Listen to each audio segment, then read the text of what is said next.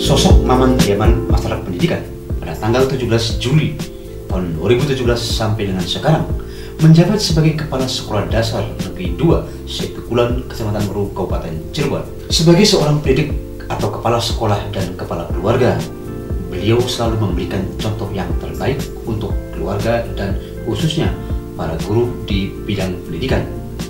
Dengan lebih awal datang ke sekolah setiap hari, sudah menjadi tradisi hidup bersih dan sehat adalah moto hidupnya. Sehingga Pertama kali yang dia lakukan adalah memastikan lingkungan sekolah selalu bersih. Dilanjutkan dengan mengajak para guru untuk menyambut kedatangan siswa. Pada hari Senin, aktivitas yang pertama dilakukan dalam upacara bendera menjadi pembina dan memberikan motivasi kepada khususnya para siswa.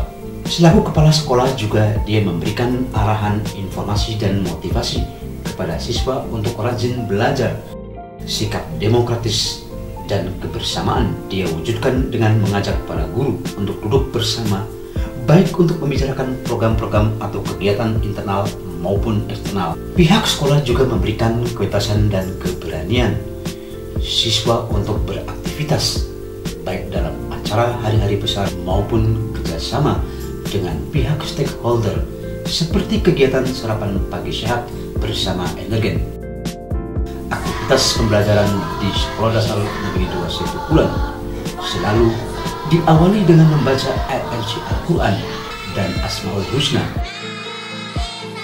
5. Kegiatan di Jumat pagi mengadakan pelaksanaan sholat duha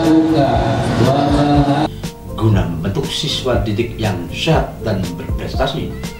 Program unggulan lainnya seperti mengadakan kegiatan ekstrakurikuler di bidang olahraga seperti pencak silat, karate, taekwondo. Banyak prestasi dan apresiasi yang sudah didapatkan. Beliau dipercaya sebagai instruktur atau pengajar di lingkungan pendidikan tingkat kecamatan Baru. Juga menjadi instruktur atau trainer di luar wilayah Cirebon.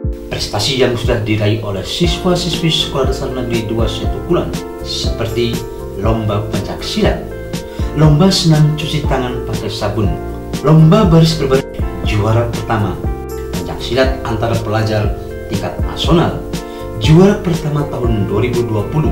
Masih banyak prestasi yang sudah diraih oleh Sekolah Dasar Negeri 2 Setukulan. Baik, rendah hati, disiplin waktu, terus selalu memberikan contoh yang baik kepada murid-muridnya. Itu untuk kedisiplinan cukup bagus. Pengalaman dan keilmuannya lebih baik dari kami. Ya, jam masuk dari guru maupun anak-anak juga ada perubahan. Uh, kepala sekolah yang uh, boleh dikatakan sudah maju secara berpikir akademis maupun non akademiknya. Berani menerima tantangan untuk masa depan SD ini. SD sekolah yang bersih, sehat dan berprestasi.